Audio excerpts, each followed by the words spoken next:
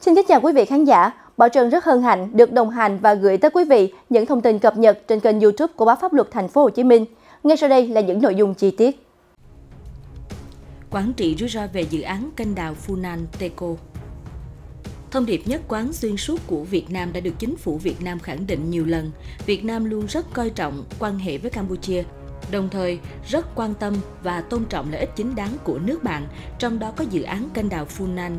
Teco, hay còn gọi là Phù Nam Teco, trên sông Mekong dựa trên tinh thần của các quy định pháp luật quốc tế.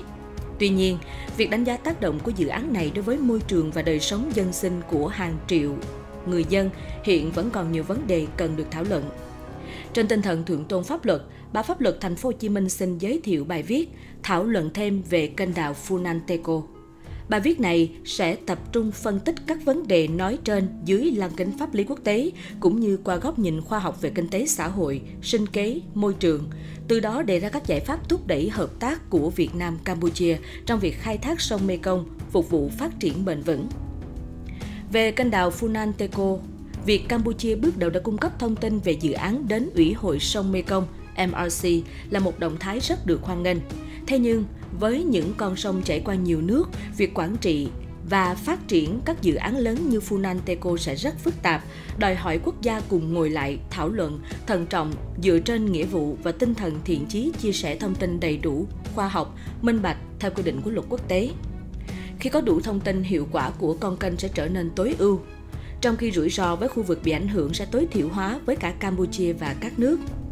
Đầu tháng 5 vừa qua, Phó Thủ tướng Campuchia Nes Savoeun đã đến thăm Việt Nam nhân dịp kỷ niệm 70 năm chiến thắng Điện Biên Phủ. Tiếp ông Nes Savoeun, Thủ tướng Phạm Minh Chính khẳng định luôn dành ưu tiên cao cho việc củng cố và tăng cường mối quan hệ hữu nghị truyền thống và hợp tác toàn diện với Campuchia trên cơ sở đoàn kết, hữu nghị và tôn trọng lợi ích của nhau. Cũng dịp này, Thủ tướng khẳng định Việt Nam mong muốn cùng với Campuchia và các nước thành viên lưu vực sông Mekong tăng cường hợp tác trong các hoạt động sử dụng, quản lý, bảo vệ và phát triển bền vững dòng sông Mekong trên cơ sở Hiệp định Mekong năm 1995 và các quy định của Ủy hội sông Mekong quốc tế. Funan Teco dưới các hệ quy chiếu pháp lý Trả lời cho các câu hỏi, các quy định pháp luật nào điều chỉnh việc xây dựng, vận hành dự án kênh đào Funanteco. Chuyên gia Brian Ayler, giám đốc chương trình Đông Nam Á và chương trình năng lượng, nước và bền vững thuộc trung tâm Stimson của Mỹ. Hiệp định sông Mekong năm 1995 vạch ra rõ ràng các tiến trình liên quan đến việc phát triển đập, kênh rạch hoặc các dự án khác ở sông Mekong. Các quốc gia thành viên MRC gồm Việt Nam, Lào, Campuchia và Thái Lan phải thông báo trước cho Ủy hội về bất kỳ dự án nào làm thay đổi dòng chảy, dòng chính hoặc phụ lưu của sông Mekong. Nếu dự án nằm trên dòng chính và chuyển dòng nước dòng chính từ lưu vực sông Mekong sang lưu vực khác hoặc thay đổi dòng chảy dòng chính cho các mục đích sử dụng khác trong khu vực sông Mekong, thì dự án phải được tham vấn trước kênh đào Funan Teco, nối hai luồng sông Mekong. Sông Tiền và sông Hậu tới các cửa sông ven biển trong vịnh Thái Lan nằm ngoài lưu vực sông Mekong. Do đó, kênh đáp ứng của hai điều kiện chuyển hướng và sử dụng trong lưu vực. Và do đó, dự án Funanteco chắc chắn phải được tham vấn trước. Còn ý kiến của Phó giáo sư tiến sĩ Vũ Thanh Ca, giảng viên cao cấp Đại học Tài nguyên và Môi trường Hà Nội cho biết, cùng với Hiệp định Mekong năm 1995, Công ước về luật sử dụng các nguồn nước liên quốc gia cho mục đích phi giao thông thủy, Công ước New York 1997 là những điều ước quốc tế quan trọng nhất điều chỉnh việc sử dụng nguồn nước từ một con sông quốc tế như sông Mekong. Và giáo sư tiến sĩ Vũ Thanh Ca nhấn mạnh, ông muốn lưu ý rằng mặc dù được thông qua trước Công ước New York 1997, nhưng Hiệp định Mekong đã được xây dựng trên các nguyên tắc của luật pháp quốc tế về môi trường và đã tham khảo những nguyên tắc quan trọng nhất của Công ước New York. Vì vậy, Hiệp định này giữ nguyên giá trị sau khi Công ước New York 1997 ra đời. Để thực hiện Hiệp định Mekong, năm bộ quy tắc về sử dụng nước của MRC, bao gồm thủ tục chất lượng nước, thủ tục trao đổi và chia sẻ thông tin số liệu, thủ tục giám sát sử dụng nước, thủ tục duy trì dòng chảy trên dòng chính và thủ tục thông báo tham vấn trước và thỏa thuận đã được xây dựng và thông qua vào tháng 11 năm 2003. Trong đó, thủ tục thông báo, tham vấn trước và thỏa thuận là những thủ tục quan trọng để đảm bảo thực hiện các nguyên tắc của Hiệp định Mekong. Theo quy định của thủ tục này, thì dự án kênh đào Funateco có sử dụng nước từ dòng chính sông Mekong, đoạn sông Tiền và sông Hậu vào cả mùa mưa và mùa khô nên phải trải qua quy trình tham vấn trước. Một số băn khoăn và đề xuất hướng giải quyết. Đầu tiên, trong các bản thiết kế về kênh đào mà Ủy ban sông Mekong Campuchia CNMC nộp cho MRC vào ngày 8 tháng 8 năm 2023, CNMC xác định dự án kênh đào Funanteco là dự án dòng nhánh hay phụ lưu, trong khi đó kênh này có sử dụng nước từ dòng chính sông Mekong, đoạn sông Tiền và sông Hậu. Chính vì ngay từ đầu CNMC đã xác định chưa chính xác về hình thức của dự án nên MRC chưa thể tham gia ở mức độ tham vấn phù hợp. Do đó, các bên liên quan cần thuyết phục CNMC thay đổi thông báo về thiết kế dự án từ phụ lưu sang dòng chính để có thể kích hoạt quá trình thông báo, tham vấn và thỏa thuận trước bắt buộc đối với các dự án dòng chính đã có tiền lệ như vậy vào năm 2013 khi Ủy ban Quốc gia Mekong thay đổi phần xác định thiết kế dự án từ dòng nhánh thành dòng chính. Thứ hai, theo thông báo CNMC gửi MRC, dự án sẽ không có tác động đáng kể đến dòng chảy hàng ngày và lượng dòng chảy hàng năm của hệ thống sông Mekong. Điều này nhờ vào các hệ thống âu tàu ngăn nước chảy từ dòng chính sông Mekong sang khu vực khác. Tuy nhiên, theo báo cáo của Trung tâm Stimson, kênh đào Funanteco có khả năng chuyển nước từ lưu vực sông Mekong đến các cửa sông ven biển ở Campuchia, bên ngoài lưu vực sông Mekong và vào vịnh Thái Lan Điều này được coi là sự chuyển dòng giữa các lưu vực. Theo Hiệp định Mekong, các dự án chuyển dòng ra ngoài lưu vực đều phải được tham vấn trước của MRC. Do đó, các bên liên quan nên đề nghị Campuchia cung cấp thêm thông tin về thiết kế, bảo trì, vận hành và thời gian dự kiến các âu tàu đi vào hoạt động nhằm đảm bảo không có sự chuyển nước đáng kể từ dòng chính sông Mekong. Thứ ba, Báo cáo của Trung tâm Stimson cũng chỉ ra thông báo phía Campuchia gửi MRC chưa đề cập thông tin về việc liệu nước này có sử dụng kênh đào Funanteco cho mục đích thủy lợi hay không, trong khi lãnh đạo Campuchia nhiều lần đề cập đến lợi ích thủy lợi của kênh đào Funanteco.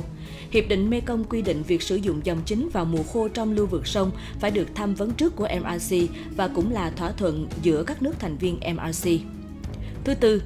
CNMC chưa làm rõ chiều cao chi tiết của việc xây dựng tái cấu trúc các con đê của kênh đào Funanteco. Chiều cao của đê có thể gây ra ảnh hưởng đến lượng nước lũ tự nhiên đổ về vùng hạ nguồn, bao gồm đồng bằng sông Cửu Long ở Việt Nam. Nếu biết được độ cao, vị trí và thiết kế cụ thể của đê của con kênh thì có thể lập mô hình và xác định các tác động của dự án đến lượng nước đổ về các khu vực liên quan. Thông báo của CNMC chưa đề cập đến vấn đề này. Những thông tin cần làm rõ trong khi Campuchia tuyên bố đã làm tròn nghĩa vụ cung cấp đủ thông tin và tham vấn về Funan Teco, còn phía Việt Nam và một số cơ quan quốc tế cho rằng thông tin vẫn còn thiếu nên chưa thể dự báo tác động môi trường. Chính vì vậy, trả lời cho câu hỏi, chiếu theo pháp lý, Campuchia phải cung cấp đầy đủ các thông tin nào theo Phó Giáo sư Tiến sĩ Vũ Thanh Ca, Hiệp định Mekong năm 1995 chưa quy định cụ thể về các số liệu mà quốc gia sử dụng nước cần thông báo cho các quốc gia liên quan. Tuy nhiên, mặc dù Campuchia chưa phê chuẩn Công ước New York 1997 yêu cầu cung cấp số liệu của công ước này cũng như một số quy định trong các luật pháp quốc tế về môi trường khác có thể là tài liệu tham khảo để Việt Nam yêu cầu Campuchia và MRC cung cấp các số liệu cần thiết về kênh đào này để phục vụ đánh giá tác động của dự án kênh đào tới môi trường sinh thái của Việt Nam. Các thông tin này bao gồm một Các số liệu về điều kiện tự nhiên như thủy văn, khí hậu, thủy thạch, môi trường – 2. Các nhu cầu về kinh tế xã hội của dự án. 3. Các số liệu chi tiết kỹ thuật và công nghệ về thiết kế, thi công và vận hành kênh đào. 4. Tác động của dự án tới tài nguyên nước, môi trường sinh thái của sông Mekong, đặc biệt là tới khu vực hạ nguồn của dự án. 5. Các giải pháp bảo tồn và phát triển để giảm thiểu tác động của dự án cũng như giá thành của các giải pháp. 6. Khả năng có được những giải pháp thay thế để phát triển kinh tế, đảm bảo sinh kế của người dân mà không cần thực hiện dự án này.